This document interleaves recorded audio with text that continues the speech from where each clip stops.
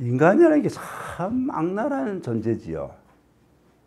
지금이야 덜 합니다만은 우리가 여자를 보면 시골에서 소를 일평생 부려먹고서는 그 잘 묻어줘야 되는데 그것도 잡아먹었잖아요.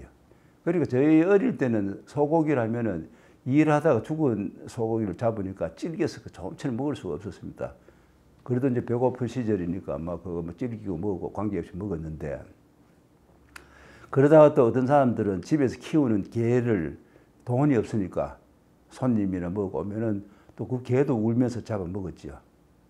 그래서 그 뭐 닥치는 대로 그냥 그 잡아 먹고 훑어 먹고 이러는데 요즘은 이제 많이 좋아진 게 어, 소는 소대로 뭐 그 잡아 먹을 소가 있고 젖자는 소가 있고 이렇게 뭐 또 분류되는 것 같고 어, 개도 뭐그 어, 원래는 안 먹습니다만은 일부는 이제 또 사육으로 어, 키우는 데도 있고 이런 식으로 이제 분류가 되는데 아직도 제가 그 가슴 아프다 그래야 될까 인간들이 무지해야 되는지 어, 나쁜 존재인지 꿀벌에 대해서 꿀벌은 우리 시큰 일에 뭐 오면은 주인들이 그 몽창 그냥 다 그 챙겨 먹어버리잖아요. 그렇지만 집에서 양봉하는 꿀은 보면은 어, 일부 꿀을 남겨주기도 하고 설탕도 주니까 생계 유지는 됩니다. 목숨 살 수 있는데 뭐가 끔찍스러우냐면은 목청이라는 꿀하고 석청이라는 꿀이 있더군요. 그거는 산에서 자연 그 벌들이 나무에서 집을 짓고 꿀을 모으면 석청이 되고 그 돌에서 이제 모아서 하면 석청이 되는데 이게 이제 보약이 된다 그래가지고 그걸 찾으러 다니고 막 그러더라고요. 근데 그 사람들이 결과적으로 보면 나쁜 짓을 하고 있는데 기한 일, 호기스러운 일을 하니까 텔레비전 방송에도 자주 나옵니다. 뭐 헌터들이니 또 뭐 산사나이를 그래가지고 뭐 대단한 일이나 하는 것처럼 막 줄을 타고 내려가고 유격 훈련 하듯이.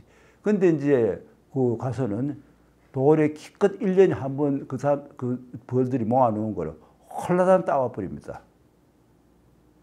우리가 양봉하는 벌들은 주인이 설탕이나 꿀을 챙겨주니까 목숨은 유지되겠지만은 목청 석정 이 별들이 운명 어찌 됩니까? 더 그것도 겨울이 다가오고 꽃은 없어지는 가을에 홀라당 딱 뿌리거든요. 이게 진짜로 약 때문에 먹으면 또 이해가 갑니다만은 그게 맛으로 먹는다면은 그저 또 보신을 위한다면 이거는 정말 이게 보신이 되겠습니까? 벌들이 저주가 섞이는 그 국물이 어떻게 보약이 될 수 있단 말입니까? 차라리 그 약을 사 먹는 게 낫죠. 그래서 저는 채식론자는 아닙니다만은 우리가 상대방을 인간이든 동물이든 죽일 때는 어떤 그 법칙이 있어야 되고 예의가 있어야 될 것입니다. 그 유목민들이 염소나 뭐 그 낙타나 뭐 여러 가지 양을 잡아 먹을 때도 보면은 그 경건하게 예배를 드리고 신에게 감사를 드리고 그렇게 잡더라고요.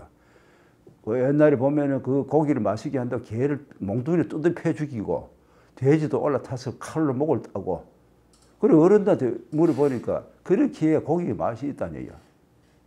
그 그런 원시스러운 것은 없어졌습니다만 아직도 어, 고함 소리 없이 울고 있는 벌들 한번 생각해 보십시오. 인간이 아무리 잘난 존재이면이라도 더군다나 잘났다면은 이런 미무르 울음소리도 듣는 것이 우리가 현명한 게 아니겠습니까? 그러고 생계를 위해서 그런 사람을 있다 치더라도 왜 그게 대단한 일인 것처럼 매스컴에서 크게 방송을 하고 우리 호기심을 자극하는 것입니까? 우리 이웃 나라에서는 이런다 그러더라고요. 닭이나 물고기 같은 게 애들하고 그 텔레비전 보고 있으니까 밑에 보여주고는 우리나라는 곧 다음 장면은 그걸 통닭구이나 매운탕 해서 막 비주는데 일본 같은 데서는 안 비준답니다. 어린애들의 감정을 상하게 한다고. 밝은 눈을 뜨고 어, 주인에게 아양 떨던 닭을 잡아먹고 어, 짐승을 잡아먹는 게 말이 됩니까? 없이 생계 유지니까 숨어서 할 일들 아닙니까?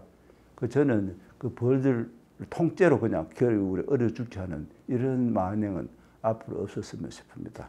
이런 미물에게 대해서 우리가 인정을 갖고 있을 때 하물며 우리 인간끼리는 얼마나 아름다운 게 관계가 유지될 수 있겠습니까?